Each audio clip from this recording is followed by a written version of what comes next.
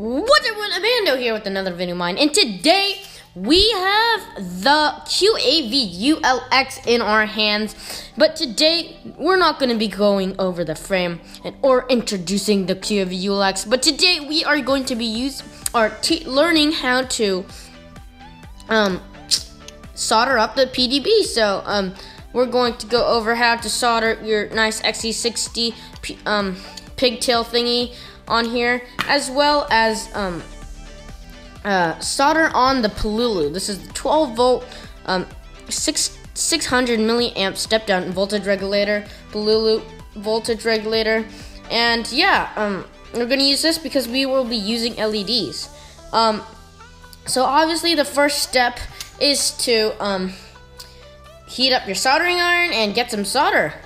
And one thing that I find very helpful is a pair of helping hands. These are some helping hands. These are the third hand from Hobby Creek. I'm gonna do unboxing and review on this guy.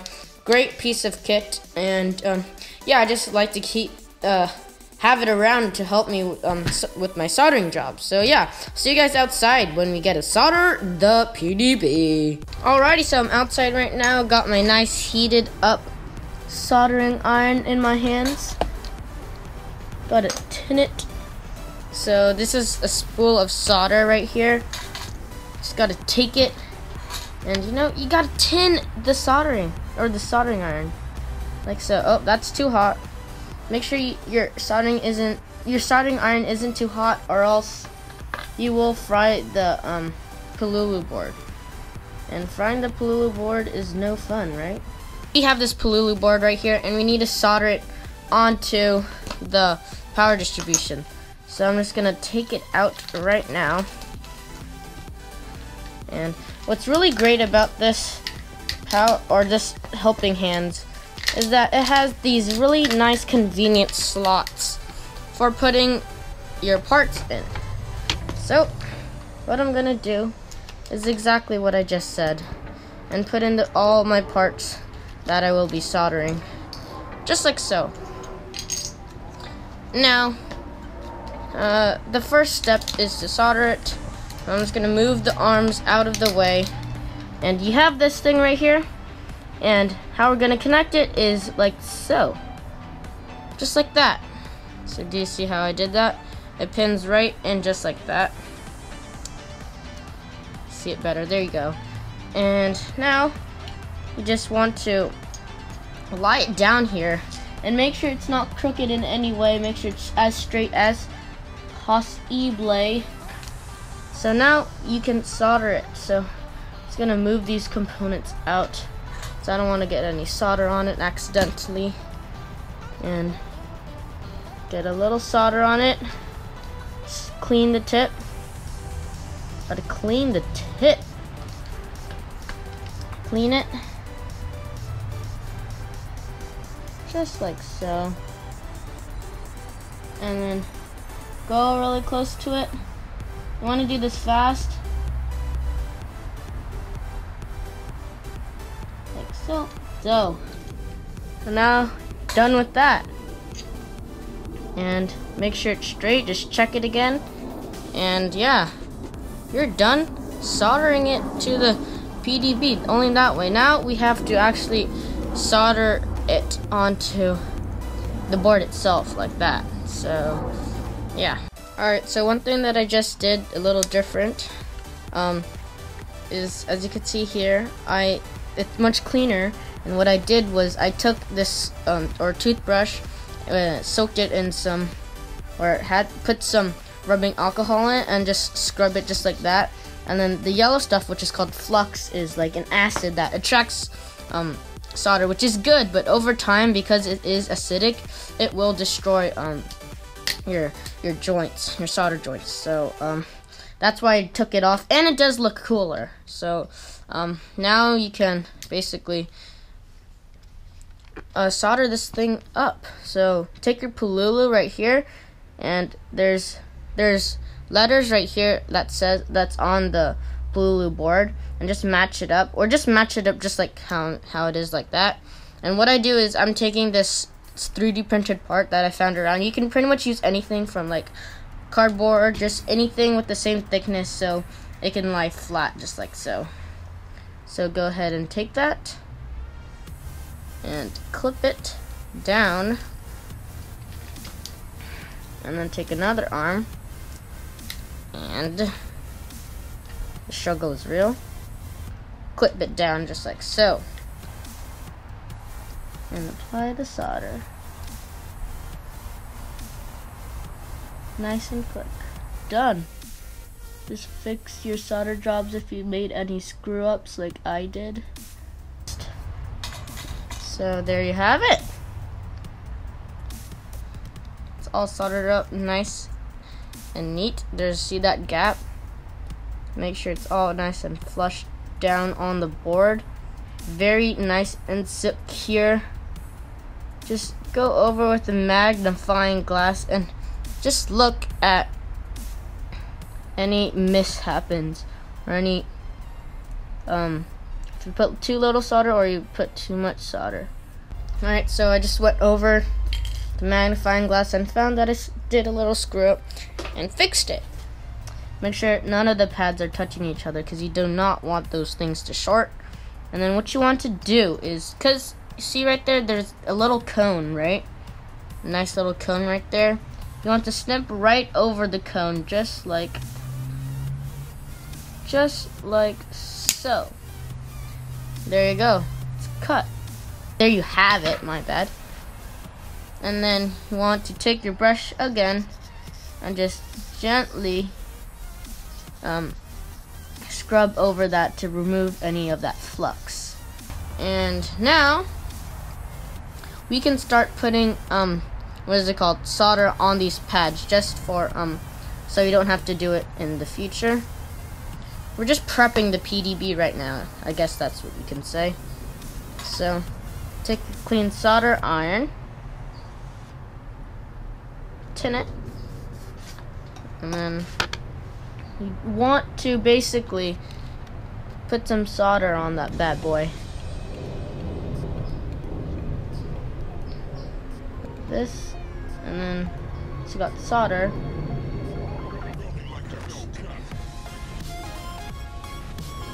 follow through. You want to make a little bubble. That's what you want. You don't have a bubble, you're either putting it too much or too little. Alright, so now as you can see, I'm all done. And as you can see, there's that yellow stuff again. Bad yellow stuff. Once again, you want to scrub it with that, what is it called? Uh, this stuff right here, rubbing alcohol, isopropyl alcohol. Soak it in that stuff, or just dump some alcohol onto that not like the alcohol that you drink, the rubbing alcohol. And as you can see, the few scrubs, the yellow stuff is coming out. We can start um, starting on the, what is it called? The pigtail, the XT60 pigtail. Alright, so now what you want to do is basically cut the, uh, I guess, uh, H, um, what is it called? XT60 pigtail down very short. See how short that is?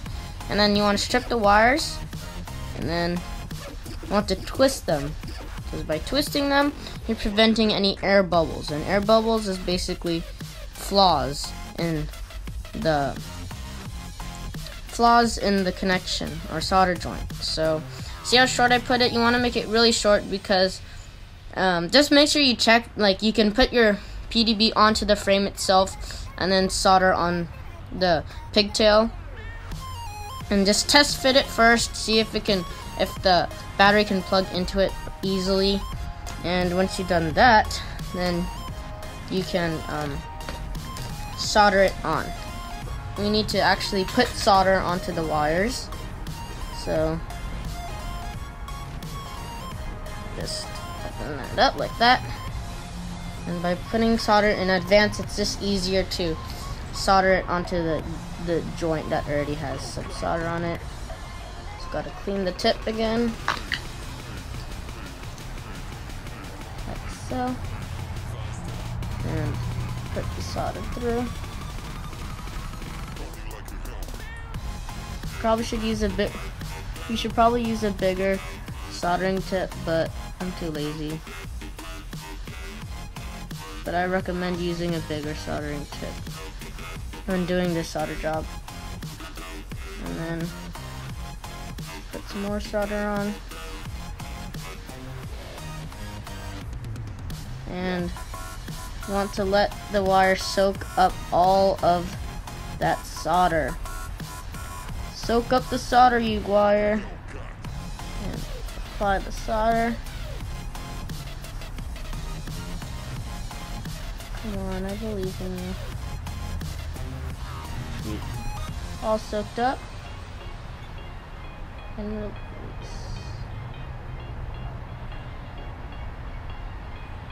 And release, just like so. And then you want to do the same. Make sure it's all heated up. And you want to do the same for the plus. So, heat it up.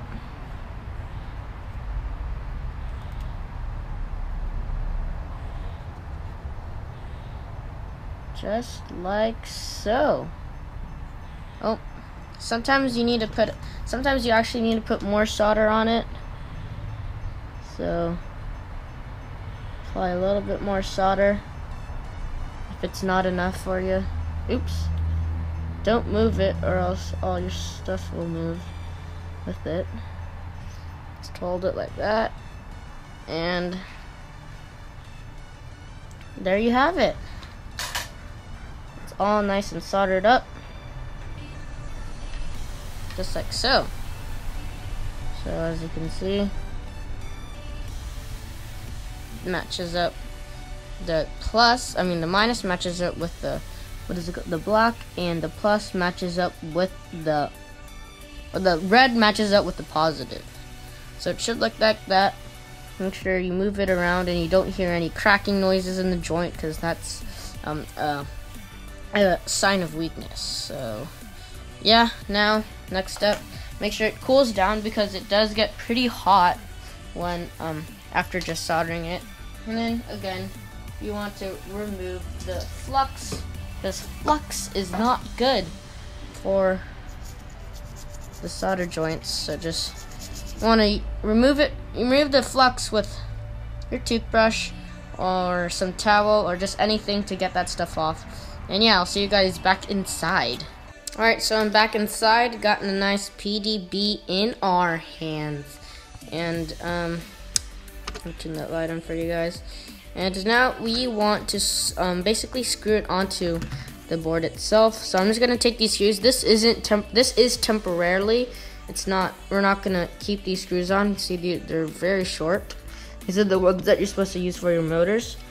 We're just gonna use them to hold on, or yeah, to basically just secure the PDB into place. And the reason for that is because when we solder up the ESCs, you don't want um you don't want them you don't want your um, power distribution for moving because you might screw up on your soldering job and it basically gives you when you when you put your soldering iron on the board itself it gives you a nice little gauge on like oh I have I need to or let it basically gives you a gauge um, how much spacing you need um, when doing when soldering onto your when soldering your ESCs on. So just connect them just like so.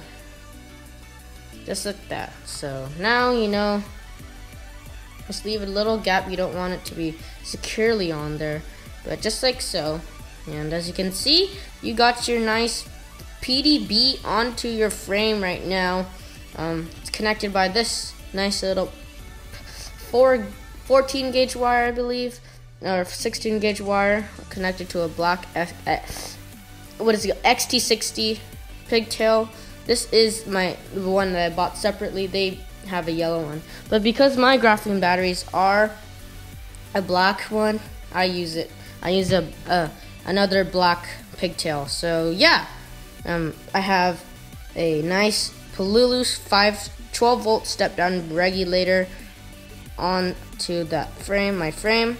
Um, so yeah, that's pretty much it for today's video. Um, hope I hope that you guys learned a lot from this video because I worked very hard on it, and um, you guys learned how to solder on your um, what is called your pigtail and your Pololu system. So yeah, that's for today's episode. If you like this video, make sure you smash that like button. If you have any questions or comments or need help with your QAV ULX build, leave in leave it in the description below. And yeah.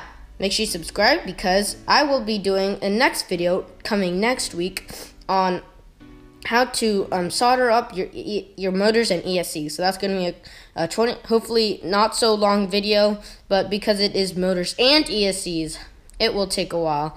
But yeah, that's pretty much it for today's episode. And yeah, see you guys next time. Peace. Uh, oh, fudging now. Tripped over that thing. That was a pretty successful build. Or video. Or build video. Video build? Why am I looking at this light? Is this light even working? I don't even know. But dang. It's all done. I'm so happy that I finished the build. Just look at that beauty. Just look at that beauty. Looks so beautiful. Looks so beautiful. Just look at it. Anyways, yeah, pretty dope fresh niche. Pretty dope fresh niche. I worked real. That video was like I haven't been starting for a while, so I was like, oh man, my starting jobs aren't the best for today. I can't wait to do the motors and ESCs because it's gonna be pretty dope fresh niche. And then yeah, after the motors and ESCs, we're pretty much done. We just have to do the LEDs and the flight controllers. Flight controller. But yeah, it's pretty easy. Easy money. Peace.